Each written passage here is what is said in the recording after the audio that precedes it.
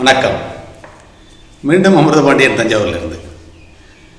இன்றைய பதிவு ஒரு உணவு சார்ந்த ஒரு விஷயம். நம்ம சாப்பாட்டில் சேர்த்துக்கிற அல்லது கட்டாயம் சேர்த்துக்கக்கூடிய ஒரு உணவு அந்த உணவோட குணாதிசயத்தை பற்றி சொல்கிறதுக்கு தான் இந்த பதிவு. அந்த அவல் நீங்கள் கேள்விப்பட்டிருப்பீங்க. நெல்லிலிருந்து உருவாக்கப்படுற அவல்.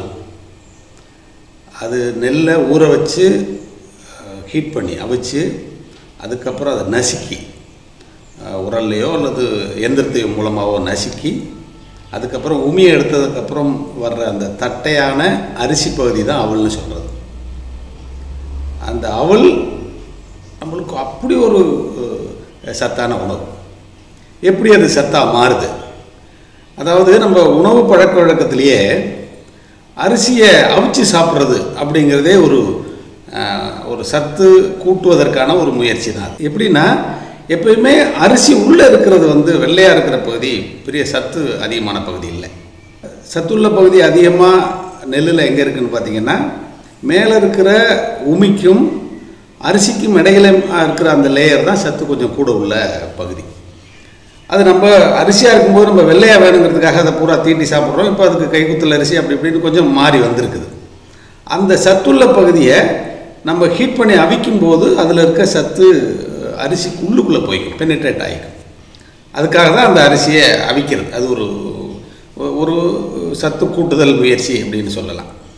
அதே மாதிரி தான் இந்த அவல் அப்படிங்கிறது முதல்ல ஊற வைக்கப்பட்டு அந்த அரிசி அரிசிக்கு மேலே இருக்கிற உமி தவிடு அந்த பகுதி எல்லாமே சாஃப்ட் ஆக்கப்படுது. ஊற வச்ச நெல்லை நல்ல முளைக்க வச்சு முளைக்கட்டி. முளைக்கட்டுறது எதுக்குன்னா எந்த ஒரு முளைக்கும் திறனுள்ள விதையும் முளைக்கட்டும் போது சத்து கூடுது அப்படிங்கிறது எல்லாருக்குமே தெரியும். நிறைய நீங்கள் முளைக்கட்டின பயிரை சாப்பிடுங்க அப்படின்னு சொல்லி சொல்லுவாங்க நிறைய. அந்த மாதிரி முளைக்கட்டி அதுக்கப்புறம் அது வந்து சூடுபடுத்தப்படுது. அதாவது அவிக்குவாங்க சூடுபடுத்துவாங்க. சூடுபடுத்தும் போது அந்த மேலே இருக்கிற சத்து அரிசிக்குள்ளே உள்ளடங்கிக்கும் அதையும் தாண்டி மெஷின்லேயோ அல்லது உரல்லையோ அந்த அரிசியை வந்து நசுக்குவாங்க. அப்போ நசுக்கப்படும் பொழுது அந்த இதுக்கு அரிசிக்கு மேலே இருக்கிற அந்த பகுதி அந்த அரிசியோடு ஒட்டிக்கும். ஆக அந்த அரிசியில் இருக்கிற அந்த நெல்லில் இருக்கிற முழு சத்தும் அவல் வழியாக நம்மளுக்கு வந்து கிடைக்கும். அதான் அந்த அவலோ அவளோட சிறப்பே. அது நீங்கள் நேரடியாக ஒன்றும் வேண்டியதில்லை. அவ்வளோ கொஞ்ச நேரம் கொஞ்ச நேரம் தண்ணியில் ஊற வச்சுட்டு கொஞ்சம் சர்க்கரையை போட்டு பிள்ளைங்களுக்கு கொடுத்தாலே பிள்ளைங்க விரும்பி சாப்பிடும். அப்படி இல்லைன்னா நீங்கள் அதை நான் வட இந்தியாவில் நிறையா பார்த்துருக்குறேன்.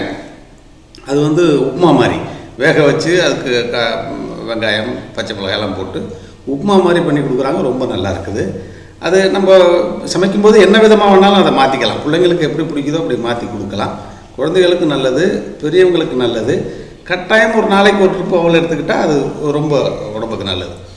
அதிகபட்சமாக பார்த்தீங்கன்னா இப்போ இந்த பாரம்பரிய அரிசியில் தான் தயார் பண்ணுறாங்க சிகப்பரிசி கருங்குருவை அந்த மாதிரியான மாப்பிள்ளை சம்பா இந்த மாதிரியான அரிசிகள் தான் தயாரிக்கப்படுது. அப்படி தயாரிக்கப்படுற அவுல் ரொம்ப சத்துள்ள மிக சத்தான ஒரு விஷயம். நீங்கள் கட்டாயம் வாய்ப்பு கிடைக்கும் போதெல்லாம் அந்த உணவை உங்களுக்கு எடுத்துக்கங்க. உடம்புக்கு ரொம்ப நல்லது.